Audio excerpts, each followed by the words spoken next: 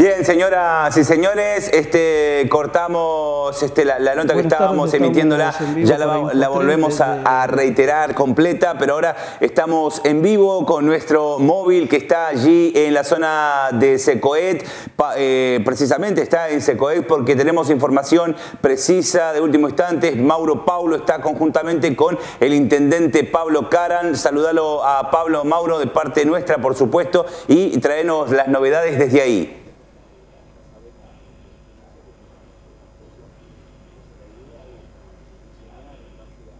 Buenas tardes, Emerson. Buenas tardes a la teleaudiencia de Info3.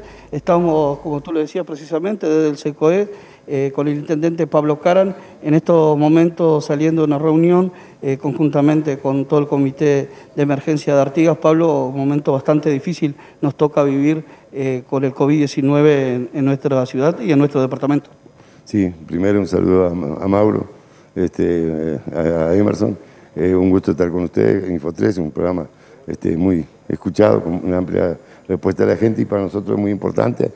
Acabamos de terminar una reunión de SECOET donde estamos muy preocupados, realmente preocupados, con el aumento de, de casos de COVID-19, casos que han eh, transmisión intrafamiliar, gente que salió a veranear, fundamentalmente por lo que dijo el doctor Leonardi, del lado brasileño, los famosos doble chapa, y este, estamos peligrando a llegar a la alerta roja y, y bueno, tomamos la siguiente resolución, que hasta el 8 de marzo todas las actividades de aglomeración, de, fiestas, de todo se, suspende para este, parar este, y cortar con este ciclo que si no sería funesto para el departamento. Comenzaba este fin de semana el Campeonato Juvenil Sub-18 y en, en Bella Unión habría una actividad también del automovilismo y la gente del agro también tenía la Expo Vino. Bueno, este, nosotros resolvimos este, eh, eh, la, Expo Ovina sí va a salir, este, porque ya tienen un protocolo estipulado, este, después Marco cualquier cosa te explica, este, pero va a ser la única actividad, este, pues ya están los caballeros de todos lados, este, eh, que va a ser actualizada. ¿Hasta el día 8 de marzo esto se podría extender? Todo depende de la responsabilidad de la gente. Acá nosotros pedimos este, usar el tapaboca, distanciamiento social, este, anduvimos bien, ahora se nos fue de las manos, este, pero estamos convencidos que la responsabilidad de la gente de Artigas nos va a volver de vuelta a un estado normal con muy pocos casos o si mejor ninguno. ¿Salió la opinión pública que había unos casos en las oficinas de la Intendencia? Hasta ahora no tengo conocimiento, este, eh, hubo en un caso en un comedor la semana pasada, pero si en otra oficina este, no tengo conocimiento. Bueno, muchísimas gracias Pablo y bueno, seguiremos de cerca esto y ojalá podamos frenar la mano. Exactamente, Mauro. Eh, tú sabes que uno siempre está preocupado con el adulto mayor, todos tenemos familiares. Este, este también hoy ya murieron dos casos en Uruguay de muchachos de, de 61 años. Este, acá hay mucha eh, población de esa, tenemos que estar alerta y bueno, ayudarnos entre todos. Bueno, eh, eran palabras del intendente Pablo Cara, en ese instantes terminó la reunión aquí en Secoet, bueno, donde se tomó la decisión que queda todo suspendido en nuestro departamento y en nuestra ciudad.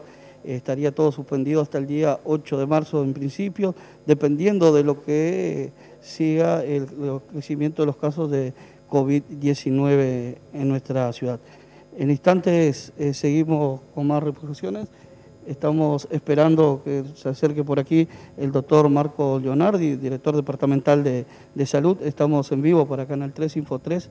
Eh, buenas tardes, Leonardi. Y bueno, se tomó una decisión hasta el día 8 de marzo. Sí, efectivamente, dado el aumento exponencial de los casos de COVID-19, principalmente en la ciudad de Artigas, se toma esa medida restrictiva, que es una medida antipática, pero hay que tomar, dado que hoy ya llevamos a esta hora 20 casos activos más al día de hoy, puede llegar más en el transcurso de la tarde.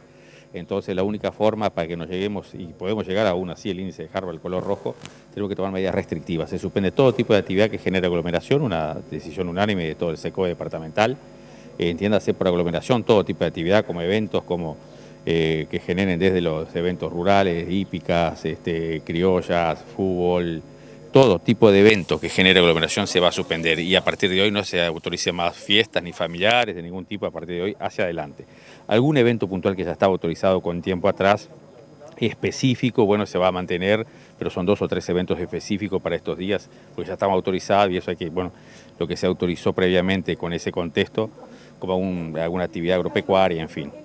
Eh, en las últimas horas trascendió que muchos artiguenses que tienen documentación brasileña se fueron a, a, veranear a Brasil. ¿Se irá a tomar alguna medida más exigente en el puente internacional de la Concordia? Y eso es difícil, porque eso contamos con la conciencia de cada persona. Cada persona tiene que ser consciente de lo que está haciendo, porque si son personas que tienen doble documentación, legalmente no se puede hacer nada. Eso va en la conciencia de cada uno, que sea responsable este, para cuidarse así, cuidarse a los demás, de ser solidario, de ser empático, porque no hay forma de controlar porque tú tienes doble documentación, entonces legalmente es, difícil. Eso creo que va más bien va de la parte social de tener conciencia, ¿no? Este, y rogamos que esa gente que fue, si viene, que se cuarentena, que se cuide, lo mismo la gente que fue al este, que se cuarentene, que trate de mantenerse en su burbuja sanitaria, dado que muchos de los casos, en todas las familias que hay intercontagio intrafamiliar, hay un familiar, alguien que, haya, que viajó al este, a Montevideo y al Brasil, ni que hablar, hay muchos. Eh, te escucho, Emerson. Sí, este, bueno, se acerca, se avecina el comienzo de clases, ¿no? Le preguntamos al doctor Leonardi este, cómo se va a desarrollar el proceso con el comienzo de clases. Sabemos que hay un protocolo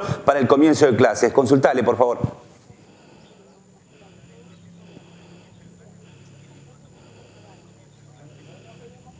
El comienzo de clases, eh, sabemos que se viene el año lectivo, tanto en la escuela, primaria, secundaria. Eh, ¿Cómo se viene trabajando en esta parte del protocolo? Nosotros en ese aspecto, eso lo maneja de cada, por ejemplo, educación primaria, secundaria. Nosotros tenemos para la próxima semana una reunión con todos pautado, una reunión con todas las autoridades que vamos a invitar a las autoridades de la educación para reunirnos y trabajar en el protocolo en común y ver cómo actuar de acuerdo con este Artigas. Pero que si, si llegamos al índice de Harvard que da en color rojo, que son más de 25 casos por 100.000 habitantes en los últimos siete días, creo que va a ser difícil iniciar las actividades en ese contexto, pero eso de última es primaria que tiene autonomía para definir. Lo mismo también la próxima semana nos vamos a reunir con todos, vamos a citar una reunión con todos los, los eh, dueños de escritorios rurales, por ejemplo, para el tema de las expoferias, también de distanciarlas más hacia adelante, postergar a partir del lunes. Este, así que hay muchas medidas que son puntuales que hay que reunirse con los, con los este, interesados de cada actividad. Eh, hoy al mediodía cuando estuvimos eh, en la Dirección Departamental de Salud ya iban 115 casos. Eh, ¿Hubo alguna novedad después? Sí, ah, en este momento van 20 casos activos. Si no hay alta, llegaremos a los 124 casos hoy o un poco más se puede llegar. Vamos a ver porque habían cuatro altas pautadas y bueno, y han llegado hasta ahora 20 casos positivos de COVID-19, todos contacto directo de esos brotes, ¿no? Recordar que los brotes, en este momento tenemos ocho brotes activos en el departamento, son seis brotes en Artigas, tenemos un brote en Sequeira y un brote en Belloñón y después tenemos algunos comercios que hay brotes dentro de un comercio céntrico este, que bueno, tenía que cerrar para desinfección y un recambio de la plantilla laboral. Bueno, muchísimas gracias. Gracias a usted. Bueno, estuvimos con las palabras del intendente departamental y el director departamental de salud, eh, el señor Pablo Caran y el doctor eh, Marcos Leonardo. Desde aquí de, del SECOET, desde el comité de emergencia, estuvimos informando para Info 3. Muchas gracias, Mauro. Este, y nosotros continuamos desarrollando las noticias. Seguimos. Ahora vamos a una pausa y enseguida retornamos con más noticias aquí en Info 3. Información para vos y para todos.